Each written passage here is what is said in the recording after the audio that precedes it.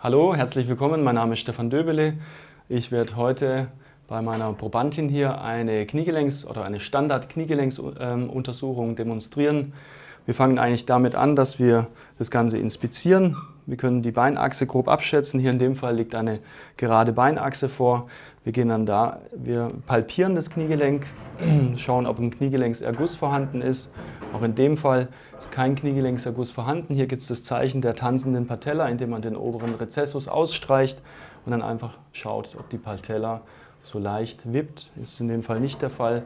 Genau, dann gehen wir weiter. Also so das Ausstreichen des oberen Rezessus. Und hier kann man dann mit leichten Drücken auf die Patella kann man sehen, ob ein Kniegelenkserguss vorhanden ist. Wenn dieser vorhanden ist, dann ja, tanzt die Patella leicht. Ist auch das Zeichen der tanzenden Patella. Ja, dann gehen wir weiter. Ähm, wir schauen uns die Beweglichkeit der Patella an. In dem Fall kann man einfach mal schauen, ob die Patella normal läuft in der Trochlea bzw. oberhalb der Trochlea. Das ist in diesem Fall ähm, der Fall. Die Patella ist ganz normal beweglich.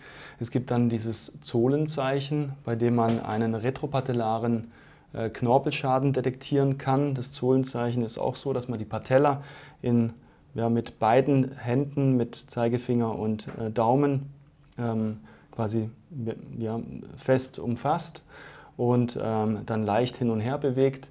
Wenn das Zollenzeichen positiv ist, würde das dann dem Patienten Schmerzen bereiten, was aber in diesem Fall auch nicht der Fall ist. Was mich als nächstes interessiert, ist der, sind die Menisci, medialer Meniskus oder Innenmeniskus und Außenmeniskus.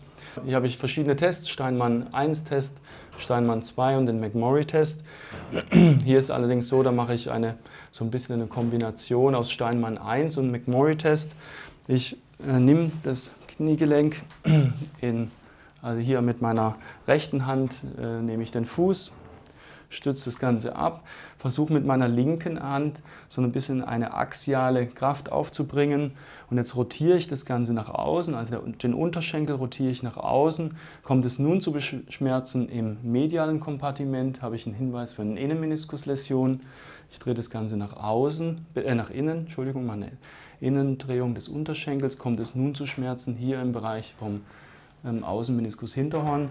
So habe ich eine Außenmeniskus Hinterhornverletzung. Der eigentliche McMurray-Test ist so, dass ich ganz in Beugung gehe und dann auch eine Außenrotation mache und dann langsam in Streckung gehe. Das macht quasi wäre ein Zeichen für eine Innenmeniskusläsion, wenn es hier zu Schmerzen kommt. Und das Ganze auch beim, für den Außenmeniskus.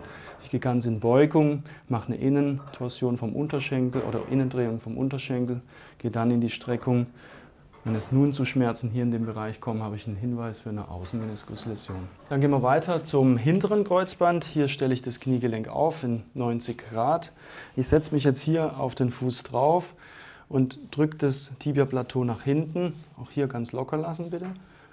Dann habe ich auch hier einen harten Anschlag nach Dorsal, das heißt das hintere Kreuzband ist intakt in dem Fall.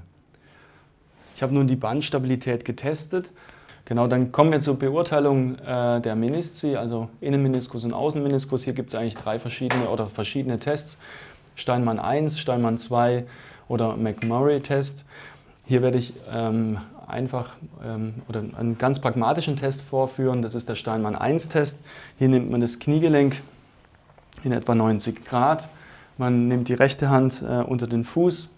Man kann mit der linken Hand das Kniegelenk umfassen und indem ich jetzt quasi hier eine Außendrehung des Unterschenkels mache, kann es zu Schmerzen im Bereich des Innenmeniskus Hinterhorn kommen. Wenn ich eine Innendrehung mache, kommt es hier zu Schmerzen im Bereich des Außenmeniskus Hinterhorns.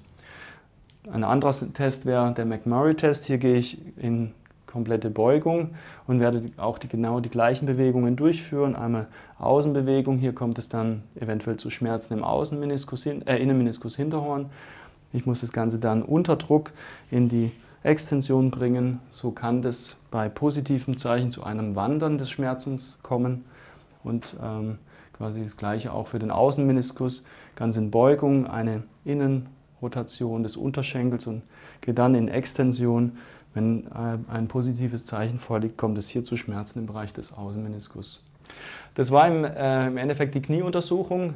Das war, waren jetzt nur einige Tests, aber meines Erachtens sicherlich die wichtigsten Tests, mit denen man eine Knieinstabilität oder ein Knie äh, insgesamt gut beurteilen kann. Ja, vielen Dank fürs Zugucken.